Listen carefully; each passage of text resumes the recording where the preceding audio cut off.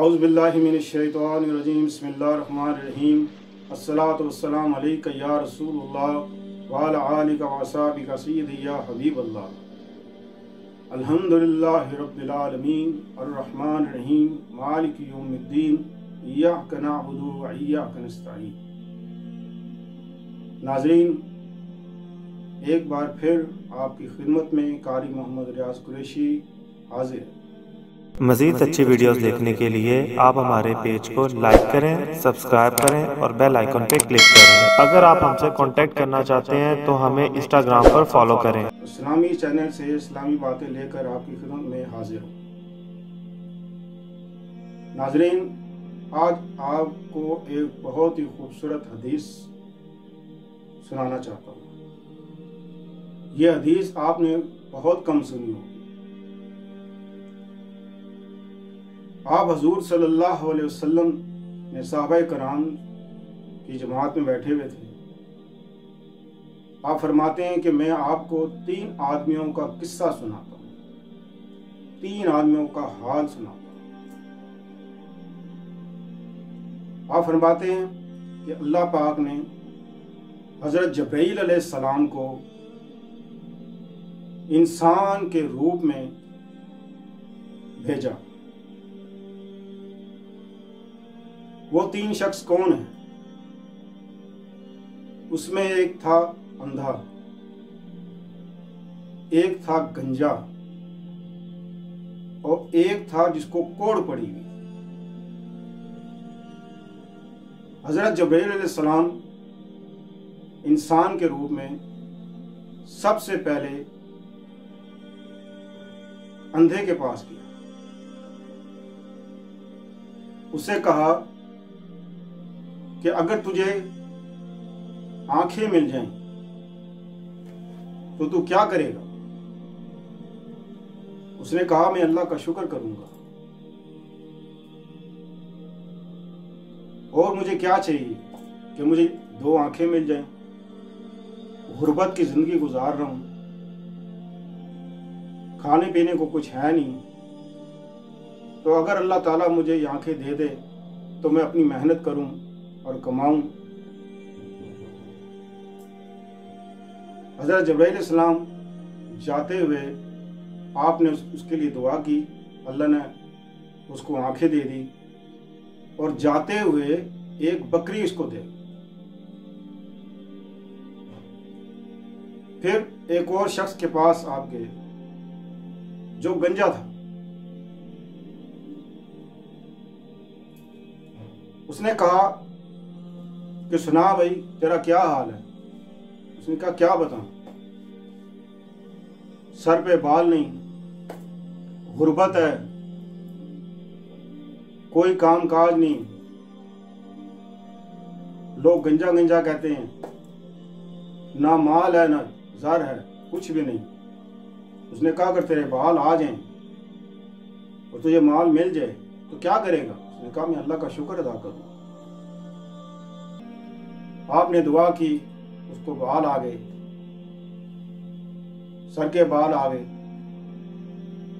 اور جاتے ہوئے ایک بھینس دے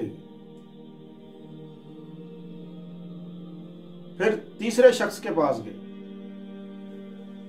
جس کو کوڑ پڑی ہوئی تھی۔ اس سے مخاطب ہوئے، بھائی، تیرا کیا حال ہے؟ اس نے کہا، میں کیا بتاؤں کہ میرا کیا حال ہے؟ کہ میرے جسم پہ کوڑ پڑی ہوئی لوگ میرا مذاق اڑاتے ہیں۔ کھانے پینے کو کچھ ہے نہیں۔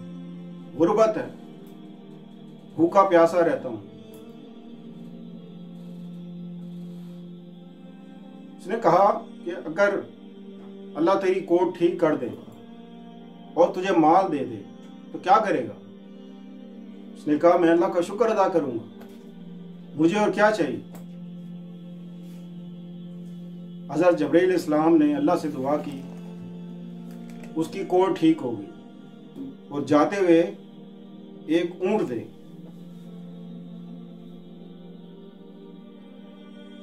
کچھ عرصہ بعد اللہ پاک نے پھر ان تین شخص کے پاس بھی سب سے پہلے کوڑ والے کے پاس گیا۔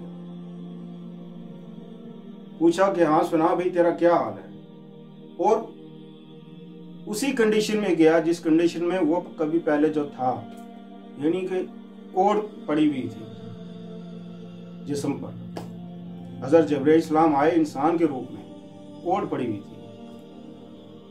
دروازہ بجایا۔ اس نے کہا کہ بھائی، میری تھوڑی مدد کر دیں۔ مجھے آپ مال دے دیں۔ اللہ نے اتنا آپ کو دیا ہے۔ تو میری مدد کر دیں۔ اس نے کہا بھائی جا بھائی جا، تو کون ہے؟ یہ سارا کچھ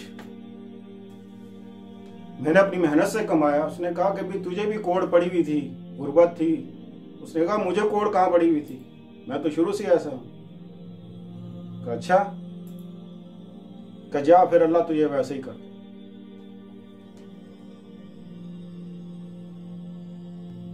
جیسا یہ کہا، یہ کہہ کر وہ نکل گئے۔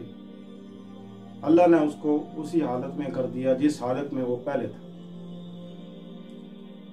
پھر جس کے سر پہ بال نہیں تھے، گنجا تھا۔ خود بھی گنجے بن کر اس کے پاس چلے گئے۔ اور پھٹے پرانے کپڑے پہن کر چلے اس نے کہا کہ میں غریب آدمی ہوں، سر پہ بال نہیں، کوئی نوکری نہیں دیتا۔ لوگ میرا مذاق اڑاتے ہیں۔ تو آپ کو اللہ تعالیٰ نے اتنا کچھ دیا ہوا ہے۔ تو آپ میری کچھ مدد کر دیں۔ اس نے کہا، میں کب گنجا تھا؟ میں تو شروع سے ہی ایسا ہوں۔ اور یہ تو مال دیکھ رہا ہے، یہ تو میرے وراثت سے مجھے ملی ہے۔ یعنی کہ اللہ پاک نے ان کو اتنا نواز دیا تھا، اتنے امیر ہو گئے تھے کہ ان کے اندر ایک تکبر آ گیا۔ اس نے کہا، میں تو شروع سے ایسا ہوں۔ اچھا۔ جا پھر تجھے اللہ ویسے ہی کر دے جیسے جس حال میں تھا۔ وہ اسی حال میں چلا گیا جس حال میں تھا۔ پھر تیسرے شخص کے پاس گئے جو نبینا تھا۔ نبینا بن کے چلے گئے۔ کہا کہ میں نبینا ہوں۔ اللہ نے تجھے اتنا مال دیا ہے۔ اتنی تیرے پاس بکریاں ہیں۔ اتنے جانور ہیں۔ تو میری کچھ مدد کر دے۔ اللہ کی خاطر مجھے بھی ایک دو چار بکریاں دے دے۔ میرا کوئی روزگار کا سلسلہ چل جائے۔ اس نے کہا ہاں کیوں نہیں؟ اللہ کی خاطر تو ایک مانگ رہا ہے، دو مانگ رہا ہے۔ جا، میں تو اللہ کی خاطر دس بکریاں دے جتنی چاہے لے جا یہاں سے۔ یہ اللہ ہی کا مال ہے۔ اللہ نے مجھے دیا ہے۔ کبھی میں نابینا تھا۔ کوئی فقیر آیا دعا کر گئی اس نے دعا کی۔ اللہ نے مجھے آنکھیں دی۔ یہ سارا مال اللہ نے مجھے دیا۔ آج اگر کوئی میرے در پہ آیا ہے، تو میں اللہ کی خاطر اس کو کیوں نہ دوں؟ جتنا تیرا دل کرتا ہے، یہاں سے لے جا۔ میں اللہ کی خاطر تجھے دیتا ہوں۔ حضرت جبرائیل علیہ السلام نے اس کے حق میں دعا کی کہ جا، اللہ تیرے مال میں دس گنا بڑھا۔ اس بات سے کیا ثابت ہوتا ہے؟ کہ اللہ جس کو نوازے، جس کے بعد دولت ہے، پیسہ ہے، اگر تکبر آ گیا اس کے اندر، تو اللہ اس کو دنیا میں بھی رسوا کرتا ہے اور آخرت میں بھی رسوا کرتا ہے۔ اور جو اللہ کی راہ میں خرچ کرتے ہیں، اللہ کے دیے ہوئے مال کو اللہ ہی کے راہ میں خرچ کرتے ہیں، اللہ اس کو بڑھا دیتا ہے۔ یہ تھی آج کی ایک خوبصورت بات۔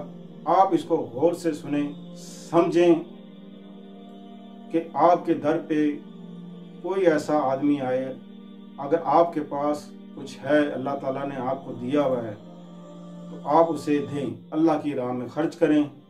اللہ آپ کے مال میں برکت ڈالے گا انشاءاللہ عزیز۔ السلام علیکم ورحمۃ اللہ وبرکاتہ۔